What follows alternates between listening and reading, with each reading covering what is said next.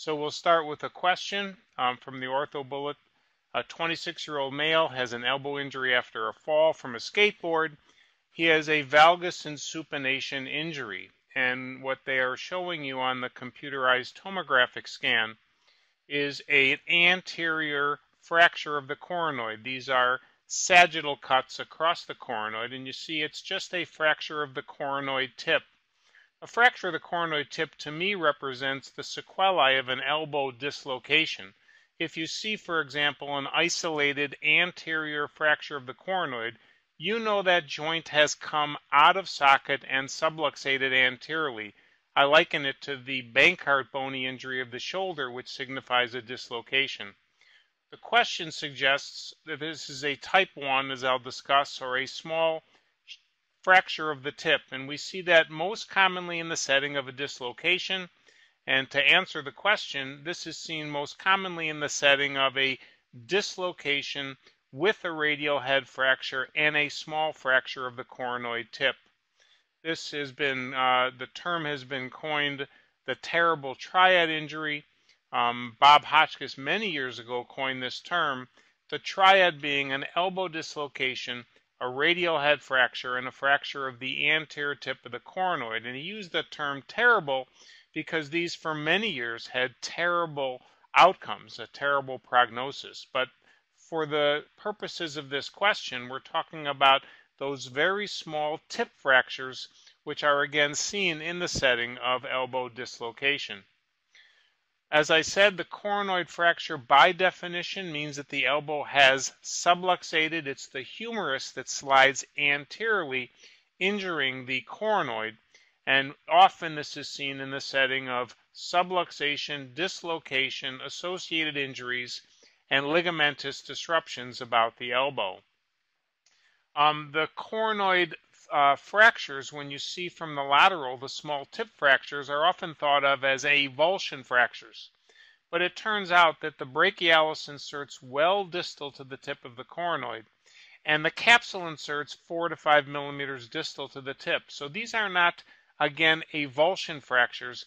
These are shear or impaction injuries from the humerus sliding anteriorly, essentially slipping out of the joint and as the humerus comes out, it shears off the tip of the coronoid. So these are, again, shear fractures of the coronoid. Um, there are different types of coronoid fractures. This is a review I wrote many years ago. It shows you how old I am. But essentially, there are the anterior tip fractures from dislocation. As I'll discuss, those can come down a bit on toward the middle of the coronoid. There are fracture dislocations of the elbow that have large coronoid fragments, essentially the entire coronoid. And then there's one additional coronoid injury termed a posteromedial or posteromedial rotatory injury in which the anteromedial facet of the coronoid fractures. And that's an entirely different subset of coronoid injury that we will discuss. Here is a uh, associated injuries of the terrible triad. Again, coronoid, radial head fracture, and of course the dislocation with ligament disruption. And as I stated, it was termed terrible for triad because the complication rates of these injuries can be very high. The coronoid sits anterior again about the elbow. Lying next to the coronoid is the radial head. And as we'll see, the radial head and the coronoid work in concert to form an anterior wall or an anterior buttress to the elbow. There is an additional medial facet that I will show you, and that's important as a medial rudder or a medial facet or buttress to the ulnohumeral joint, and that can be independently injured in isolated coronoid fractures. So we see, let's go back one we see again the anterior buttress effect of the coronoid and the ulnohumeral joint, which essentially involves the coronoid, is really the most important aspect of the elbow, which on a pure anatomical um, um, foundation is just a hinge. The elbow is a hinge, bringing one's hand toward one's mouth for feeding.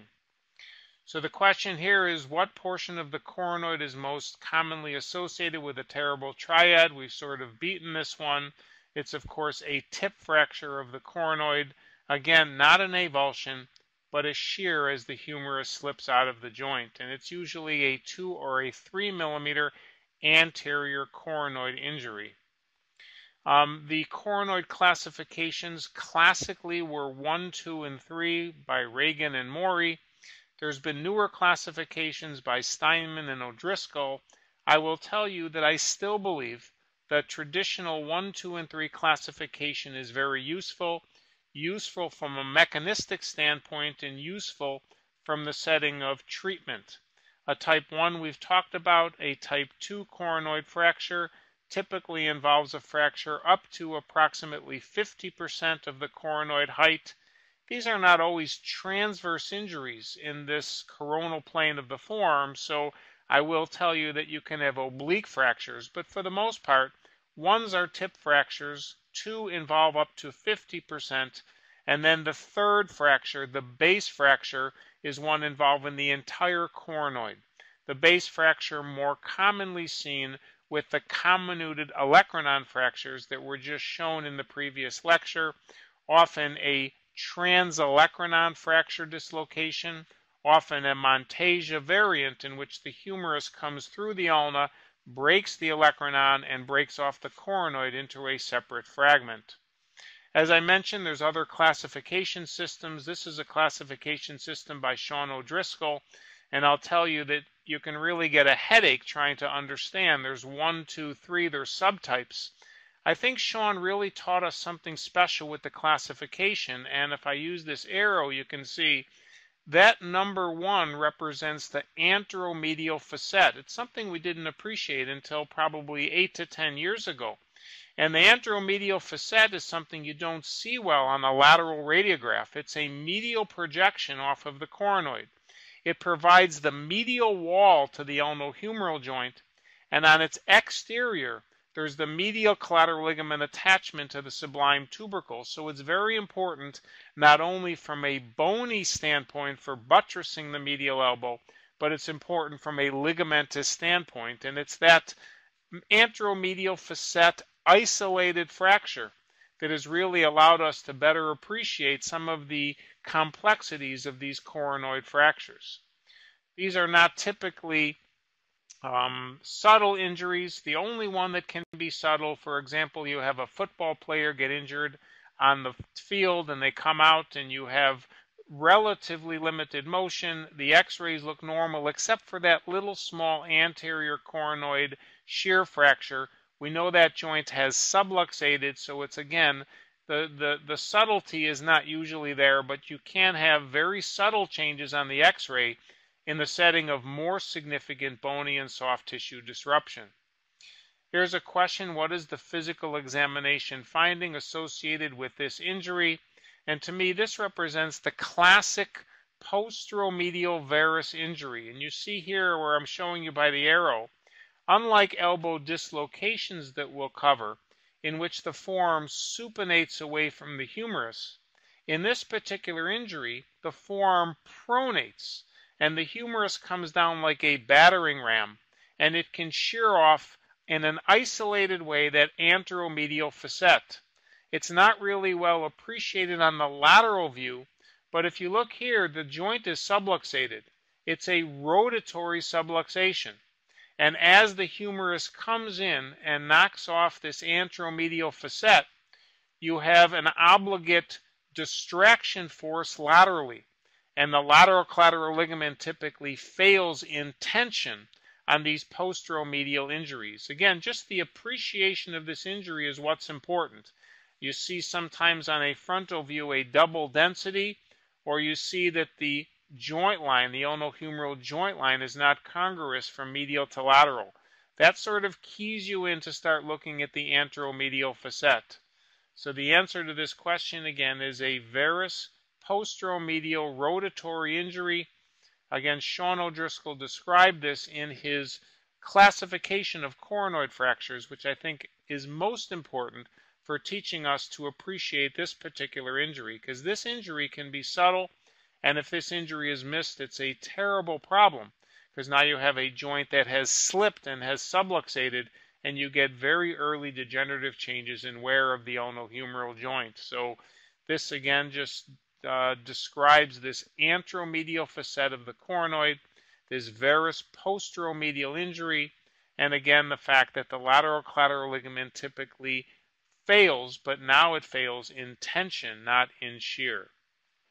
So coronoid fractures can be um, uh, defined by, of course, history. Coronoid fractures, we again see medial or lateral instability. Most of the time, we're not performing instability stress tests. We're getting frontal, lateral, and oblique radiographs and sometimes advanced imaging to better appreciate the uh, particular injury involved. This is again another very good example of this posteromedial uh, uh, shear injury. This is a varus uh, pronation mechanism in which the humerus comes down, shears off this piece of the anteromedial facet.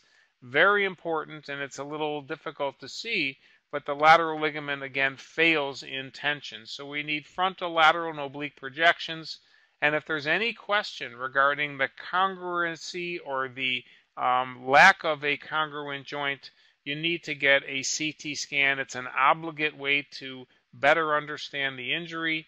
It's again discussed, and we heard that earlier. And I particularly for these injuries like the three-dimensional reformatted images, the surface renderings of the elbow, in which you can rotate around and really appreciate the displacement and the uh, mechanism in which the elbow has been injured.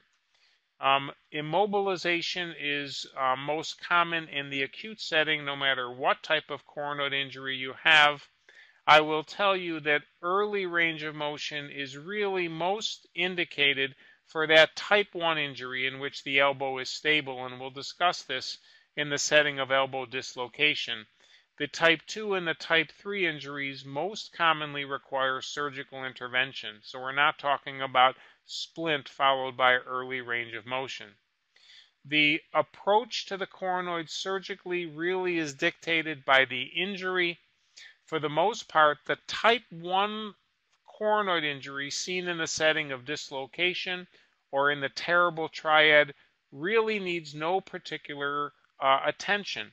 It's a sign that the elbow has dislocated, as I mentioned, the brachialis, the capsule insert distal, and that small anterior piece of the coronoid in no way um, imparts instability to the elbow. So there's not much benefit from trying to fix the type 1 injury. When you have a terrible triad with a type 2 injury in which the radial head has been injured, most commonly you will be removing that radial head to be replacing it with a metallic implant. And as such, once the radial head is out, you have direct visualization and access to the coronoid, and in this way you can fix a type 2 coronoid from the lateral side. When you have a medial facet injury, you really have to approach that from the medial side. You cannot get to the anteromedial facet from the lateral side. So I will tell you that um, most of the time we're working laterally for the type 2 and medially for the type 1. The posterior e visualization of the coronoid is really only uh, to be discussed in the setting of those complex olecranon fractures, whereas I will show you can work through the fracture to reduce the large coronoid to the shaft and then you're left with a two-part fracture involving the olecranon. So um, the only other thing on this slide is the words hinged external fixation. I will tell you that most of us have moved away from the hinges toward static external fixation. To me, the hinge is not as important as just some external neutralization to keep the joint from subluxating. Very rare in the acute setting only if you're unable to, to secure stable fixation. If you're unable to leave the operating room with a stable joint, you have to do something to keep the elbow reduced and concentric, and you're probably adding an external frame in those rare situations. As I mentioned, if you want to address the anteromedial facet, you have to come in for a medial deep approach. There's two different approaches that can be used. There's a flexor pronator split approach that's been popularized in the elbow release literature. Bob Hotchkiss terms this the medial over the top. I will tell you the more direct approach to the coronoid from the medial side that brings you directly down on the anteromedial facet is to simply use the floor of the cubital tunnel. So you have to open up and move the ulnar nerve you have to take some of the branches of the ulnar nerve to the anterior flexor carpi ulnaris. You really have to strip the ulnar nerve almost more distally than you're used to if you perform cubital tunnel surgery. And then you retract gently the ulnar nerve posteriorly and you retract the flexor pronator muscle anteriorly and you'll come right down on the anteromedial facet. You'll see suture mentioned here. I tend to use um, internal fixation, small screws, small little buttress plates, even a 1.5 millimeter buttress plate can be helpful to hold down that anteromedial facet. There are fragment specific pre-bent plates that can be used. Sometimes these are more difficult than to simply bend a 1.5 or a 2 millimeter plate. And again, from the medial side, you're trying to hold that piece in the medial collateral ligament attaches to the piece which is pulling tension on the piece. So you're really using this as a buttress or a anti-glide plate to hold that anteromedial facet in place. Um, it is very important to understand again that the lateral collateral ligament does fail in tension. So as seen here, a bone anchor was used to repair the collateral ligament back to the humerus. The ligament almost always comes off of its origin, off of the humerus. And then it talks about avoiding shoulder abduction. It's something very important to understand when you're dealing with any injury to the elbow, a, uh, dislocation, or a lateral collateral ligament injury. When you raise your elbow away from your body and you abduct your shoulder, gravity with the form is putting a tremendous varus load on the elbow. And if these patients are, for example, large and their resting position is with the arm ab or the shoulder abducted, what you end up doing is having a resting tension on the lateral side. And in the setting of this posteromedial injury, you end up with compression on the medial side. And it's very subtle here, but here we have a buttress plate and we have an anchor. But if you look carefully here, you see that this joint is not congruous from medial to lateral. And this elbow was already slipping back into that compression medially and tension laterally. If you think about it, reconstituting the lateral ligament brings the radial head back to the humerus and it essentially takes tension off of this side. It, it neutralizes the compressive forces medially. So a lateral ligament repair is very important in this setting, and you want to try to limit these patients from having a varus load. Even picking up a gallon of milk with your arm away from your body puts a massive varus load on the elbow. So it is very important to have the patients understand. It's very important to try to limit them from using their arm away from their body, especially with anything in their hand. And again, you'll see again and again early active motion, I would say that in any type of elbow injury, we always think to move the elbow early because it's been shown that prolonged immobilization may lead to a higher incidence of stiffness. But the last thing you want is to lose a congruous joint. It's always better to have a stiff congruous joint than an incongruous joint, whether it's stiff or whether it's loose because this is a problem that we cannot recover from. But if we have a stiff congruous joint, we can always do an elbow release, releasing the elbow for mobility long term. And the older I get, the longer I keep any type of potentially unstable or compromised elbow in a cast or in a static external fixator. Again, the worst problem is to see the joint starting to subluxate is seen here because you really can't recover very well from that complication. Um, as I mentioned, you can see the type 3, the base coronoid fractures in the setting of the uh, more common transolecranon fracture dislocations or Monteggia fractures involving the coronoid and the anterior or posterior aspect of the olecranon. When you have this injury, rather than coming in from the medial side, you can slide along the ulna. You can slide medially to come in, but most easily is to pull the olecranon out of the way and reduce this from the undersurface. Even if you have provisional fixation with a pin, when you put your posterior plate on, you'll be able to place posterior to anterior screws into that anterior coronoid fragment. So again, these type 3 injuries involving the base are unlike uh, the injuries seen with fracture dislocations. They're unlike the posteromedial facet. They're usually seen in the setting of these more complex fracture dislocations of the joint. Um, the complications to me, for the most part, evolve around stiffness and recurrent instability. An early failure and recurrent instability you never want. Stiffness for me is again something you can recover from. I don't get very concerned or excited about patients who have motion loss after any type of fracture or fracture dislocation of the elbow. As long as the joint is congruous we can always come back and get mobility. So um, to me, the worst combination is an unstable or, or, or joint that is not congruous and stiff.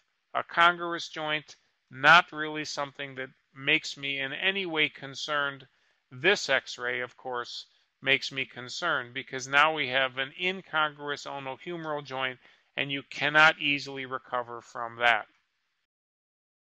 If you enjoyed this video, please consider leaving a like. We'd love to hear your thoughts and what you'd like to see next in the comments. Don't forget to subscribe to our channel and follow us on social media.